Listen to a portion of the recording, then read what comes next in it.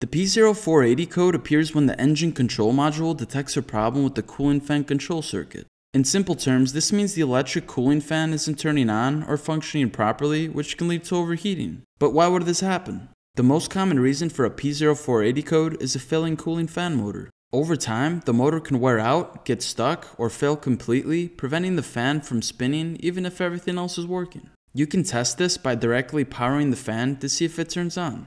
The next possibility is a blown fuse. If there's an electrical short or excessive current draw from the fan motor, the fuse blows to protect the system. But that also means the fan won't operate. Check the fuses before replacing any parts.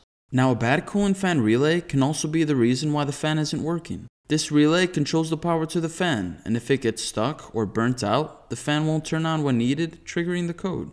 Another possibility is damage to corroded wiring going to the cooling fan circuit. If there's a break in the wiring or a bad connection, the ECM won't be able to control the fan properly, causing a P0480 code. The next possibility is a faulty ECT sensor. The engine coolant temperature sensor plays a role in telling the ECM when to turn the fan on. If this sensor fails, it might send incorrect temperature readings, causing the fan to stay off when it should be running. Finally, if everything else checks out, the ECM itself could be the issue. A malfunctioning ECM may fail to send a signal to activate the fan, but this is one of the least common causes.